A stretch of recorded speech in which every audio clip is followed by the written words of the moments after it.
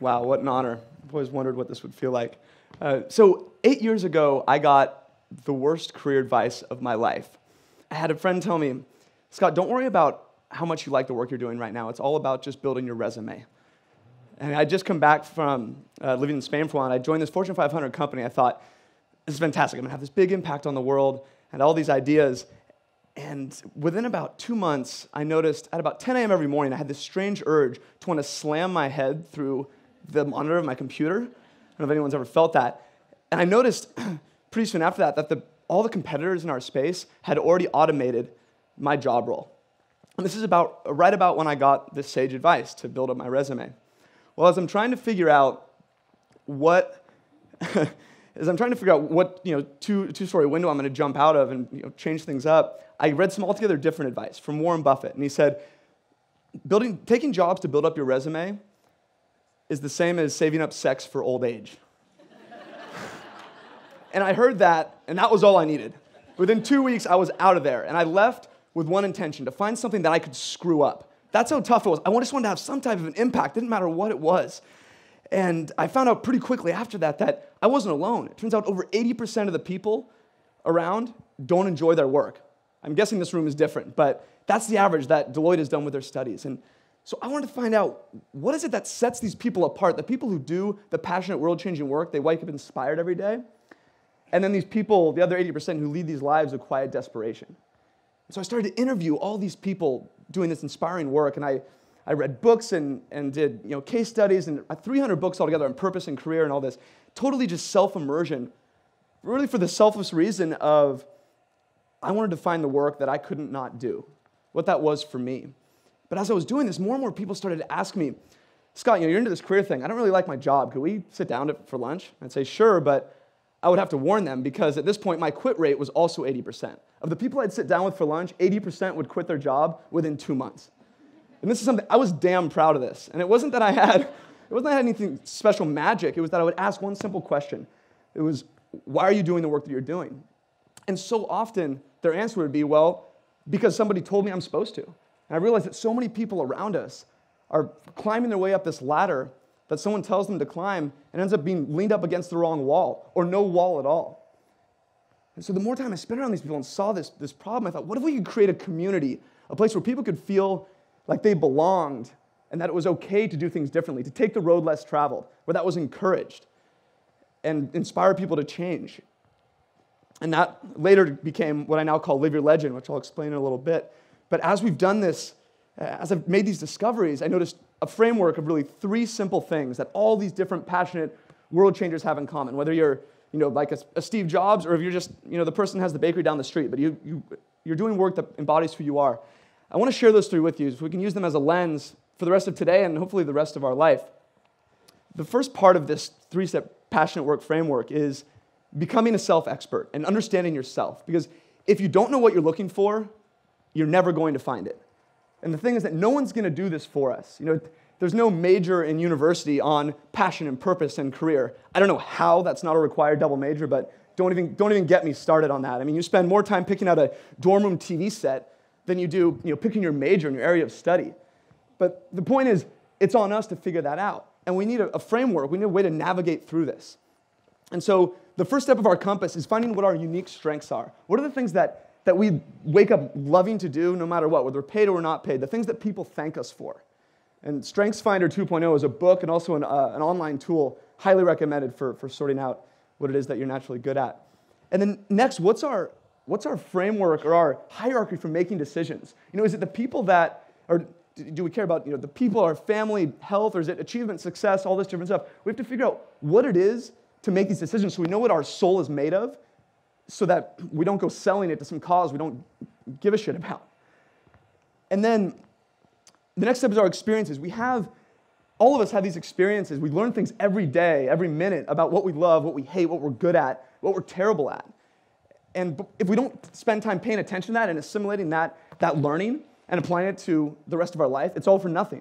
It's like every week, actually every day, every week, every month of every year, I spend some time just reflecting on what went right, what went wrong, and what do I want to repeat? What can I apply more to my life? And even more so than that, as you see people, especially today, who inspire you, who are doing things where you say, oh God, what Jeff is doing, I, I want to be like him? Why are you saying that? Open up a journal, write down what it is about them that inspires you. It's not going to be everything about their life, but you know, whatever it is, take note of that because over time we have this repository of things that we can use to, to apply to our life and have a more you know, passionate existence and make a better impact.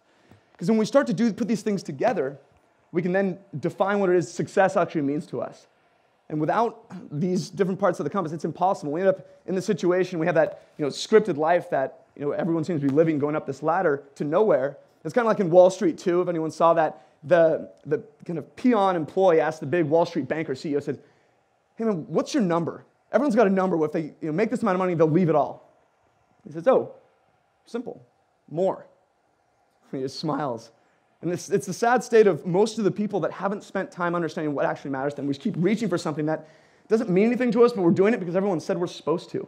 But once we have this framework together, we can start to identify that thing that makes, things that make us come alive. You know, before this, a, a passion could come and hit you in the face. Or uh, maybe in your possible life work, you might throw it to the side because you don't have a way of identifying it. But once you do, you can see something that's I'm, I'm, it's congruent with my strengths, my values, who I am as a person. So I'm going to grab a hold of this, I'm going to do something with it, and I'm going to pursue it and try and, try and make an impact with it. And you know, live your legend and the, the movement we've built wouldn't exist if I didn't have this compass to identify, wow, this is something I want to pursue and, and, and make a difference with. So if we don't know what we're looking for, we're never going to find it. But once we have this, this framework, this compass, then we can move on to what's next. And that's not me up there. Um, but doing the impossible and pushing our limits. Because you know, there's two reasons why people don't do things. One is because they tell themselves they can't do them, or the other is people around them tell them they can't do them. Either way, we start to believe it, and either we give up or we never start in the first place. The thing is, everything was impossible until somebody did it. Every invention, every new thing in the world, people thought were crazy at first. Roger Bannister in the four minute mile, it was a physical impossibility to break the four minute mile in a foot race until Roger Bannister stood up and did it. And then what happened? Two months later, like 16 people broke the four minute mile. The things that we have in our head that we think are impossible often just, just milestones waiting to be accomplished if we can push those limits a bit. And I think this starts with probably your physical body and physical fitness more than anything, is we can control that. You know, if you show yourself, you don't think you can run a mile, you show yourself you can run a mile or two, or even like a marathon or lose five pounds, whatever it is, you realize that can be transferred, that confidence compounds, can be transferred into the rest of your world. And I've actually gotten into the habit of this a little bit with my friends. We, we uh, had this little group, we kind of go on physical adventures. And recently, I found myself in a kind of a precarious spot. I, I'm terrified of deep, dark blue water. I don't know if anyone's ever had that same fear ever since they watched Jaws 1, 2, 3, and 4, like six times when I was a kid. But anything above here, if it's murky, I can, oh, I can, I can already feel it like right now. It, I, I swear there's something in there. Even if it's Lake Tahoe, it's freshwater. Totally unfounded fear, ridiculous, but it's there.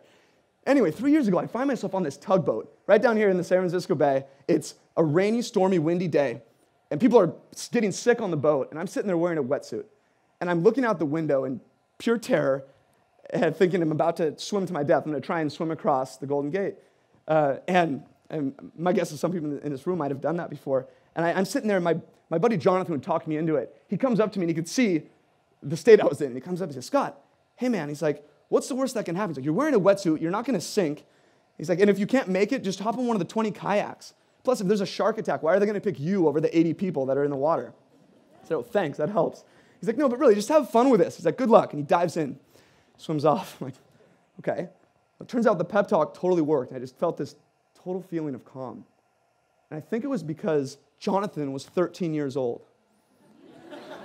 and of the 80 people swimming that day, 65 of them were between the ages of 9 and 13. Think for a second how you would have approached your world differently. At nine years old, you found out you could swim a mile and a half in 56 degree water from Alcatraz to San Francisco. What would you have said yes to? What would you have not given up on? What would you have tried? You know, as I'm finishing this swim, I get to aquatic park and I'm getting out of the water, and of course, half the kids already finished. So they're cheering me on and they're all excited. And I'm, I got total popsicle head if anyone's ever swam in the bay and I'm trying to just uh, thaw my face out, and I'm watching people finish. And I see this one kid, something didn't look right. He's just flailing like this, and he's barely able to sip some air before he slams his head back down. And I noticed other parents were watching too, and I swear they were thinking the same thing I was. This is why you don't let nine year olds swim from Alcatraz. And I mean, it, this was not fatigue. All of a sudden, two, two parents run up, they grab him, and they, they put him on their, on their shoulders, and they're dragging him. He's just dragging like this. And I mean, totally limp. And then all of a sudden, they walk a few more feet and they plop him down in his wheelchair. And he puts his fists up in the most insane show of victory I've ever seen. I could still feel the warmth and the energy on this guy when he, when he made this accomplishment. I, thing is, I had seen him earlier that day in his wheelchair. I just had no idea he was going to swim. I mean, where is he going to be in 20 years? How many people told him he couldn't do that, that he would die if he tried that? You prove people wrong, you prove yourself wrong, that you can make these little incremental pushes of what you believe is possible for yourself. You don't have to be the you know, fastest marathon in the world, just your own impossibilities to accomplish those. And it starts with little bitty steps. And the, the best way to do this is to surround yourself with passionate people. The fastest way to do things you don't think can be done is to surround yourself with people already doing them. There's this quote by, uh, by Jim Rohn, and it says, You are the average of the five people you spend most time with. And there is no bigger life hack in the history of the world from getting where you are today to where you want to be than the people you choose to put in your corner. They change everything. And it's a, it's a proven fact. In uh, 1898, Norman Triplett did this study with uh, a bunch of cyclists. And he would measure their times around a track in a group and also individually. And he found that every time the cyclists in a group would cycle faster. And it's been repeated in all kinds of walks of life since then. And it proves the same thing over and over again that the people around you matter. And an environment is everything. But it's on you to control it because it can go both ways. With these 80% of people who don't like the work they do, that means most people around us, not in this room, but around everywhere else, are encouraging complacency and keeping us from pursuing the things that matter to us. So we have to manage those surroundings. You know, I found myself in this situation, uh, what, uh, personal example, maybe a year ago and a couple years ago. Has anyone ever had a hobby or a passion they pour their heart and soul into unbelievable amount of time and they so badly want to call it a business, but no one's paying attention and it doesn't make a dime. Okay, I was there for four years trying to build this Live Your Legend movement to help people do work that they genuinely cared about and inspired them. I was doing all I could, and there were only really three people paying attention, and they're all right there my mother, father, and my wife, Chelsea. Thank you guys for the support.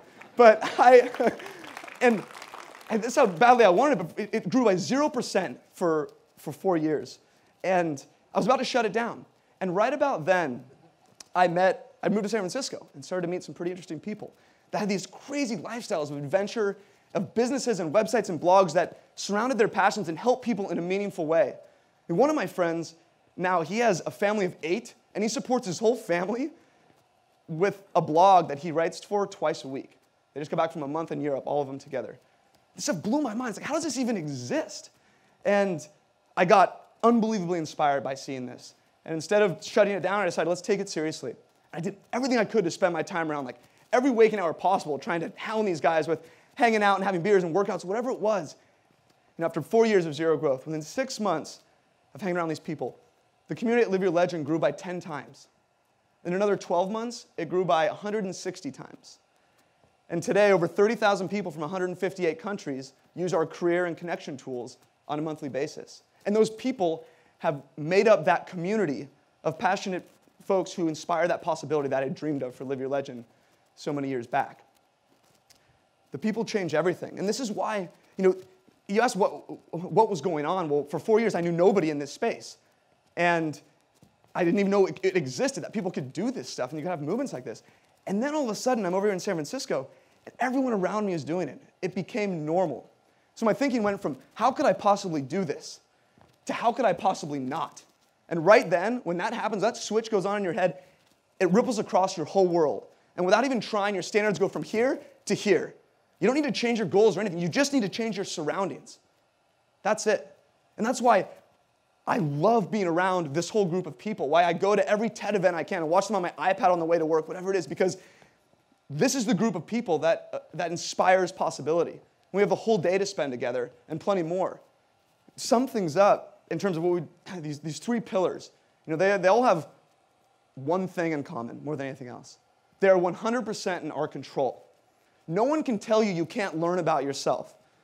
No one can tell you you can't push your limits and learn your own impossible and push that. No one can tell you you can't surround yourself with inspiring people or get away from the people who bring you down.